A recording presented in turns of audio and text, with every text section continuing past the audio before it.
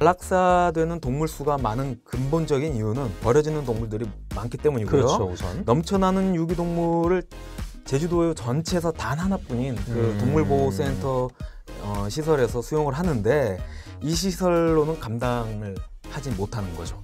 자, 이런 것들 사실 개인의 도덕성으로만 치부할 문제는 아닌 것 같고 사회적인 문제로 봐야 되지 않을까요? 네.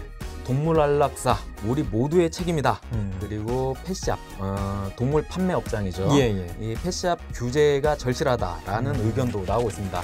어, 제도 그 보통 우리 제2공항 들어선다고 생각하면 거기 공항 하나 이렇게 시뮬레이션으로 어, 그려놓고 이제 생각해봤는데 공항이 들어서면서 이 배후 도시가 다 들어서고 또 산업단지까지 만약에 들어선다. 음. 그러면 이 성산일출봉에서 바라보는 풍경이 얼마나 바뀔지 예. 잘 상상이 되지 않습니다.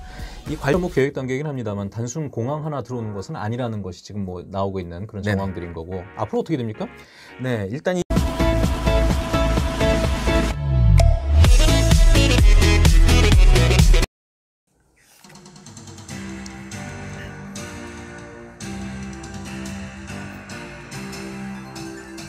한 주간의 키워드로 뉴스를 듣는다. 김재훈 기자와 함께하는 키워드 뉴스 지금 시작합니다.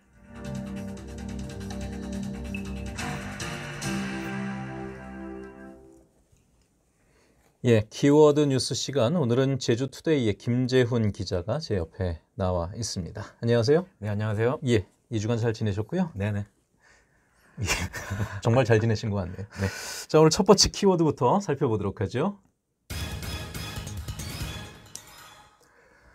동물 안락사 모두의 책임입니다. 예.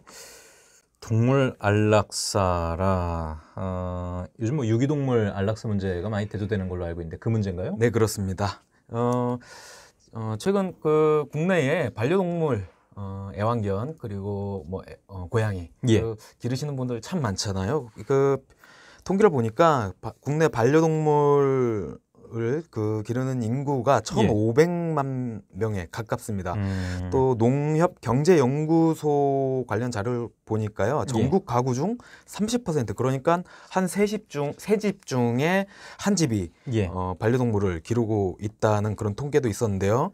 그, 이렇게 어, 사랑을 많이 받는 반려동물 그런데 또 그만큼 버려지는 동물도 음. 많이 있습니다. 제주 지역에서도 이게 문제가 되고 있는데요. 제주 동물보호센터에 아- 어, 제주 어, 유기동물들이 예. 제주 동물보호센터로 들어오는데요. 예. 이 동물보호센터에서 안락사된 안락사된 동물 수가 2018년에 연간 4천 마리대로 진입한 이후 좀처럼 줄어들지 않고 음. 있습니다. 올해에도 어, 약 4천여 마리의 동물이 안락사될 것으로 예상되는 그런 상황입니다. 예.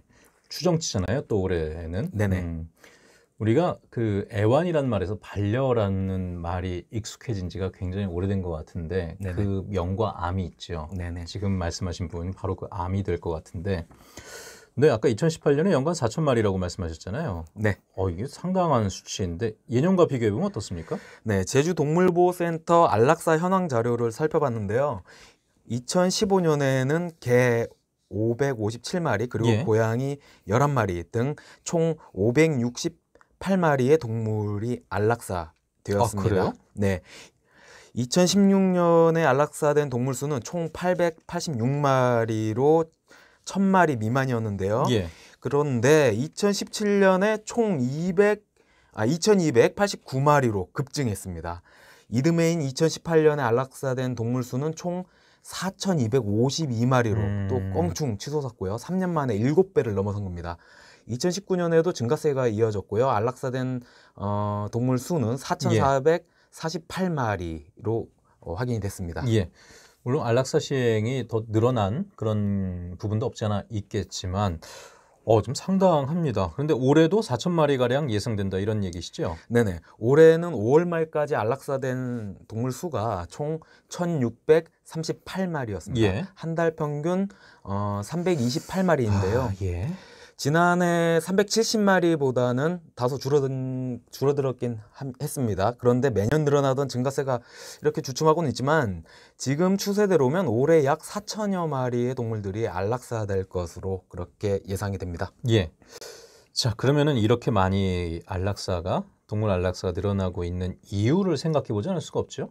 네, 단적으로 얘기하자면 넘쳐나는 유기동물 음, 수 때문인 거죠. 예. 버려지는 동물들이 그만큼 많다는 얘기인데 그런 상황에서 동물보호센터의 시설로는 예. 감당이 되지 않기 때문입니다. 그러니까 현재 제주도에 있는 그 동물보호센터 이 시설이 부족 하다는 말이 되는 거군요. 네, 그렇습니다. 안락사되는 동물 수가 많은 근본적인 이유는 버려지는 동물들이 많기 때문이고요. 그렇죠, 우선. 넘쳐나는 유기동물을 제주도 전체에서 단 하나뿐인 그 음. 동물보호센터 어, 시설에서 수용을 하는데 이 시설로는 감당을 하지 못하는 거죠. 일단 버려지는 동물들이 많고 그 다음에 동물보호센터가 아 지금 제주도 전체를 통틀어서 다 하나뿐이 없군요. 네네네. 예. 그러면 그 시설 규모나 이런 것들이 어느 정도길래 이렇게 많이 안락사를 시켜야 될까요? 네, 동물보호센터 관계자에 따르면 현재 보호시설에 수용하기에 적정한 동물 수는 350마리 정도라고 합니다. 아 그래요? 하- 그런데 실상은 3,000마리대까지 입소되고 있는 실정이라고 합니다. 그러니까 그 적정한 수용 개체 수보다 한 10배 가까이를 지금 수용을 하고 있다는 얘기네요. 네, 상당히 열악한 어. 상황이라는 걸알 수가 있죠. 자 그러면 유기동물의 수가 이렇게 늘어나고 줄어들지 않는 이유는 뭘까요? 네, 아무래도 그 귀엽잖아요. 요새 동물 프로, 프로 그램도 텔레비, 텔, 어, 텔레비전에서 많이 나오고요. 예, 예. 이런 예쁜 귀여운 동물들과 함께하고 싶은 욕심, 음, 그런 욕심에 비해 책임감이 부족한 아. 것이 가장 큰 이유가 아닐까 싶습니다. 더러는 뭐 예, 상황이 안 되는 경우도 있긴 하겠지만요. 예. 그러니까 이 뒷생각을 안 하고 일단 아유 예쁘다 나도 키워보고 싶다 하고 막상 데려왔는데 데려와서 보니까 이 감당이 안 키우는. 게 굉장히 힘들고 네네. 감당이 안 되니까 그냥 버려지는 동물도 그만큼 많이 늘어나고 있다 이런 얘기가 될 것 같고. 네네. 근데 동물 유기를 방지하기 위한 제도적인 장치도 있지 않습니까? 네, 여러 장치들이 지금 마련이 되고 있는데 특히 반려동물 등록제도 아 그렇죠. 어, 예, 예. 이 제도가 시행되었지만 유기동물 수는 줄어들지 않습니다. 오히려 늘었다는 그런 아. 연구 결과도 있고요. 반려동물 등록 제도는 농림축산식품부가 지난 2014년 1월에 반려견에 대한 보호자의 책임감을 높이고 또 유기동물 발생 시 보호자를 확인할 수 있도록 의무화한 제도인데요. 예. 반려동물 등록을 피하기 위해서 의도적으로 유기한 경우도 발생했다. 그런 지적도 제기된 바 예. 있습니다. 결국 이 유기동물 수가 줄어들지 않고 오히려 증가하게 되고 또 예. 동물보호센터의 수용시설이 아주 열악한 상황이다 보니 올해 매달 300여 마리의 동물들이 안락사되고 있는 실정입니다. 물론 근본적으로 보면은 유기동물의 수를 유기되는 동물의 수를 줄여 나가는 것이 가장 어, 중요한 부분이겠지만은 그 단계까지 가기 전까지는 수용 시설을 확충할 필요성도 분명히 있을 것 같긴 한데요. 네, 지금 이 어, 동물보호 시설이 저 동물보호센터가 예. 어, 제주시 용강동에 하나 있습니다. 예, 예. 그 단순하게 보자면 제주시에도 하나 있으니까 서귀포시에도 하나 있어야 하지 않을까 그런 음. 이제 생각도 할 수 있는데요. 예. 그런데 어, 한국 사회의 nimby 문제 이게 또 아. 발동이 되는 겁니다. 우리 동네는 안 돼. 다른 예, 데는 예. 생겨, 생기는 건 몰라도 우리 동네만큼은 안 된다. 음, 땅값이 떨어진다. 예. 그런 이제 문제 제기인 거죠.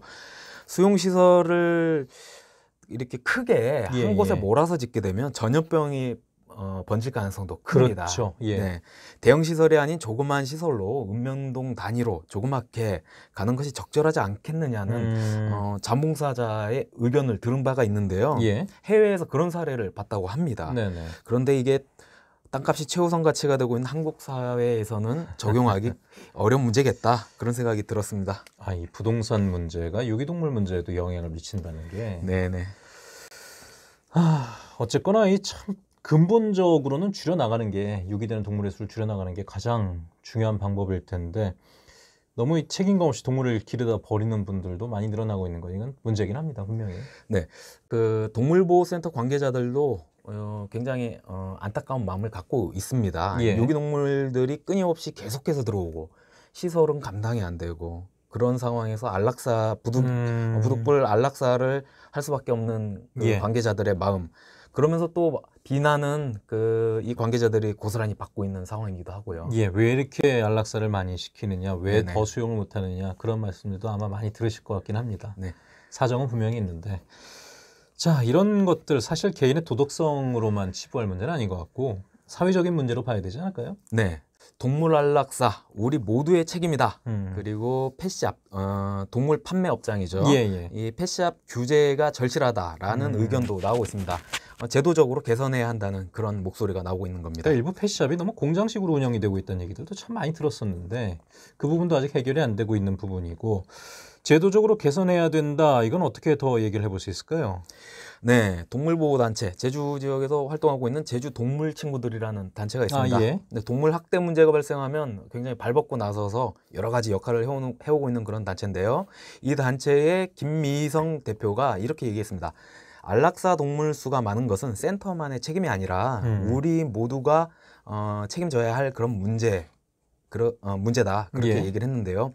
안락사된 동물의 수를 줄이기 위해서는 우선 유기동물의 수를 줄여야 한다고 그렇죠. 어, 김미성 대표가 말하고 있, 말하고 있고요. 또 안락사를 줄이기 위한 방법은 정말 유기동물 수를 줄인 것 말고는 음. 근본적인 그런 해결책은 없다. 어, 그렇게 보고 있습니다. 그게 가장 사실 근본적인 해결책이죠. 네, 이 부분 콕 집어서 김미성 대표가 얘기했는데요. 예. 무엇보다 펫샵 규제가 절실하다라는 음. 겁니다. 아까도 펫샵 얘기 잠깐 했었는데 이 지나다니다 보면은 반려동물을 이게 키운다는 건지 전시를 한다는 건지 그 좀 구분이 안 될 때가 있거든요. 네, 강아지 특히 강아지와 고양이를 이렇게 전시해서 진열해서 예, 판매하는 펫샵을 흔히 보게 되는데 펫샵이 특히 문제가 되는 건 공장식 생산 체제를 가진 그 펫샵의 운영 방식에 음, 대한 그렇죠. 문제 제기 때문이죠. 그 그에 대한 문제 제기가 많이 이어져 왔는데 동물들이 새끼를 낳는 기계로 음. 대우받고 있다는 그런 지적. 예, 예. 어, 펫샵을 운영할 수 없도록 하는 강력한 조치를 취하지 않고서는 음. 유기동물의 발생을 근원적으로 막, 막을 수 없다고 예, 예. 김희성 대표는 얘기했습니다. 이 펫샵의 공장식 생산 체제 이거 가- 자세히 들여다보면 상당히 예. 어, 좀 안타까운 그런 모습들을 많이 볼 수 있게 됩니다. 그래서 생명이잖아요. 분명히 네네. 생명인데 생명을 가진 동물들을 좀 뭐랄까 너무 소모품 취급하는 듯한 느낌들은 많이 받을 네네. 때가 있습니다. 저희가 그 제주 동물 친구들 줄여서 뭐 제동친이라고 하던데 여기 네. 인터뷰한 적도 있었거든요. 반려동물 중성화 수술 예산을 확대하는 방법에 대해서도 제안을 예전에 보니까 하더라고요. 네네. 제주도에서 중성화 수술 지원 예산을 늘려서 유기동물을 줄여야 한다는 것, 어, 음. 그것도 중요하다 그런 입장을 어, 개진했는데요. 예. 어, 이런 상황 있잖아요. 마당에서 개를 기르시는 시골에서 아 그렇죠. 어, 그런 분들이나 아니면 또 어, 반려동물들을 외출할 수 있게 예, 예. 어, 목줄도 풀고 그렇게 어. 기르시는 분들 보면 이 반려동물이 어느 날 새끼를 가지게 되어 가지고 아 예, 예. 네 머리를 싸매는 분들 예. 많이 계십니다. 이 새끼를 가지게 되면 한 마리가 두 마리가 되는 게 아니라 한 마리가 대여섯 마리가 되는 그런 상황이 발생합니다. 그렇죠. 감당을 하지 못하는 음. 거죠. 김희성 제주 동물 친구들 대표는 중성화 수술 지원 예산을 늘려야 한다고 음. 제안했고요. 또 그리고 동물보호센터에서 동물을 입양 보낼 때에 예, 예. 미리 중성화해서 보내는 방법도 아, 제안했습니다. 예, 예. 똑같은 문제가 또 발생하지 음. 않도록 하기 위해서요.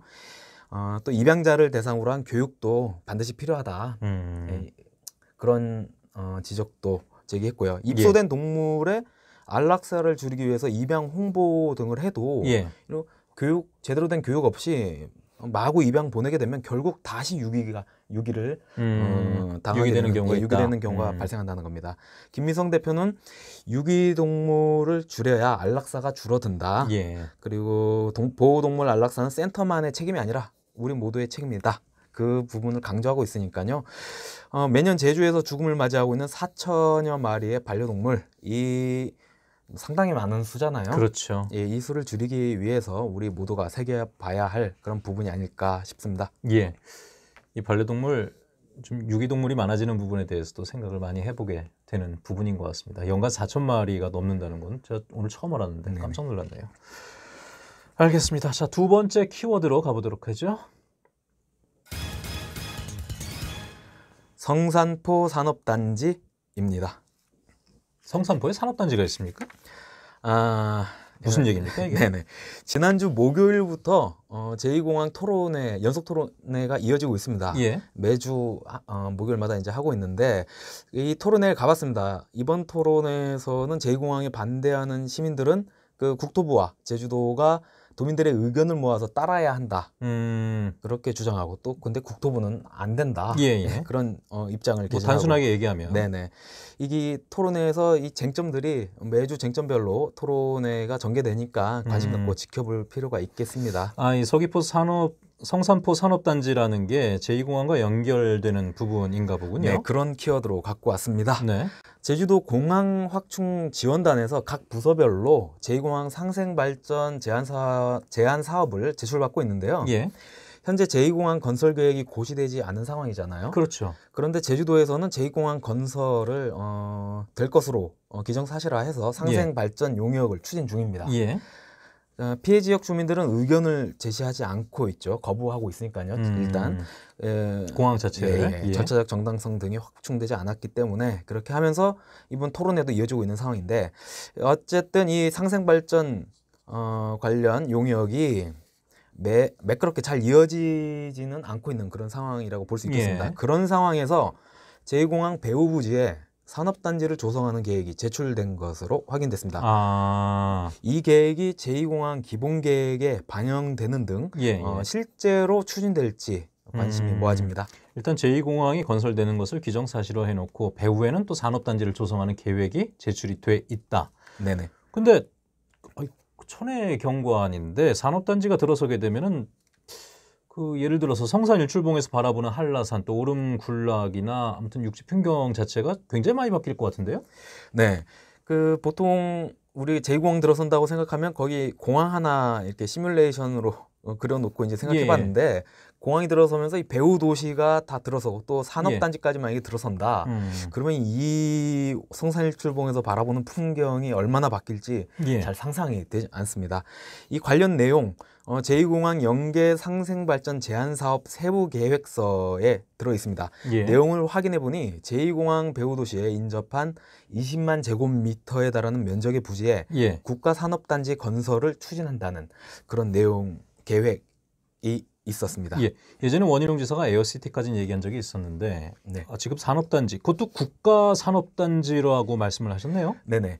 이 계획은 제주 국제자유도시센터 그리고 한국 토지국 어, 토지주택공사 등에 의한 국가 산업단지 공영개발 방식으로 사업을 추진하고 예. 2024년부터 50억 원을 투입해서 또 어, 최종 1,600억 원을 투자하도록 어, 하고 있습니다. 예. 국가 산업 단지로 추진하는 만큼 재원은 모두 국비로 충당한다는 계획인데요. 이거 음. 보면 좀 알 수 있죠. 세비 어, 추진할 때 돈이 좀 들어가니까 예, 예. 이거를 결국 어, 국제자유도시 예. 센터 아니면 한국토지주택공사로 아, 에서 추진하도록 한다는 그런 어, 아이디어로 보입니다. 어쨌거나 국가에서 주도하는 공영개발 방식이 된다. 네네. 그러면 글쎄 뭐 일단 계획이니까 네네. 어떤 업종들을 유치하게 된답니까? 네, 계획서상으로는 예. 이 산업단지에 유치하려는 주요 업종으로 IT, 항공기술, 그리고 웰빙 식품 가공업 그런 것들을 들고 있습니다.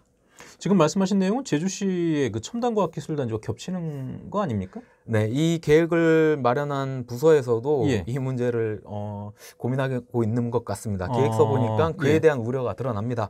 제주시 월평동에 위치한 첨단 과학 기술 단지와 어, 유치 업종이 증복 중복되는 그런 문제로 인해서 장기 미분양 문제가 발생할 수 있다. 그렇게 음. 우려하고 있습니다. 그 같은 문제점을 해결할 방안도 나름 제시하고는 있는데요. 제주 동부 지역에서 생산되는 1차 산업을 원료로 한 화장품, 제조, 판매, 체험 관광 산업 등 지역 생산품과 공항 인접한 그 예. 지리적 장점을 활용해서 어, 신산업 복합형 국가 산업 단지로 조성한다는 그런 내용입니다. 예. 그런데 좀 약해 보입니다. 네, 예. 실제로. 약해 보인다는 건 이제 김 기자님 개인 네네. 생각이신 것 같고 어쨌거나 어, 이 겹치는 부분에 대해서는 뭐 해당 부서에서도 이게 우려가 되고 있는 부분은 맞는 것 같긴 하군요. 자, 뭐 그건 그렇다 치고 또 제2공항 문제와 함께 성산 일대가 지금 이렇게 말씀하신 대로 된다면 도시화가 되는 것은 필연적일 것 같고 또 산업단지까지 같이 들어오게 되니까 자연환경 파괴에 대한 논란과 갈등도 더 커질 수밖에 없을 것 같긴 한데요. 네, 계획서에서도 주민 반대에 대한 어, 우려도 예. 고려하고 있습니다. 산업단지에 대한 부정적인 시선으로 지역 주민들의 사업 반대 우려가 어, 따를 수 있을 것으로 전망하고 있다고 하고요. 음, 에, 산업단지의 어떤 대형 차량 통행, 또 악취 발생, 비산먼지 발생 등 이, 이런 것들로 인한 혐오 시설로 인식을 받을 수 있고 예. 그 이에 대한 어, 대책을 마련을 하지 못하면 지역 주민들의 단지 조성 반대가 예상된다는 겁니다. 이렇게 걱정을 하고 있으면 계획 단계부터 거기에 대한 대책도 물론 있겠죠? 네네 대책으로 국가산업단지 개발계획 수립 단계부터 입주 수요 조사를 통해 주요 유치업종 및 주변 환경 등에 미치는 부정적 영향이 큰 제한업종을 선정해서 친환경 산업단지 조성 계획을 제공한다 음. 그런 방안을 제시하고 있는데요. 근데 이뿐 아니라 앞으로 부동산 투기 문제도 충분히 예상되는 부분이고요. 예. 그리고 환경적 측면에 대한 고민은 이번 계획서상으로는 담겨져 담겨 있지 않았습니다. 예. 앞으로 더욱 논란이 어, 일 것으로 또 예상이 되는 그런 부분입니다. 예. 일단 뭐 계획 단계이긴 합니다만 단순 공항 하나 들어오는 것은 아니라는 것이 지금 뭐 나오고 있는 그런 네네. 정황들인 거고 앞으로 어떻게 됩니까? 네, 일단 이 계획은 내부적 검토 단계인 거고요. 어, 근데 계획서를 보면 향후 추진 계획도 제시하고 있습니다. 앞으로 제2공항 기본 계획 반영 및 공기관 사업 시행자의 선정 협의 그리고 산업단지 개발 계획 수립 및 행정 절차 이행 국가산업단지 지정 요청 예. 그런 방안을 제시하고 있고요. 지금 어, 자문 그리고 내부 검토 등을 거치면 산업단지 조성 계획이 본 궤도에 오르게 예. 될 것으로 전망되는데요.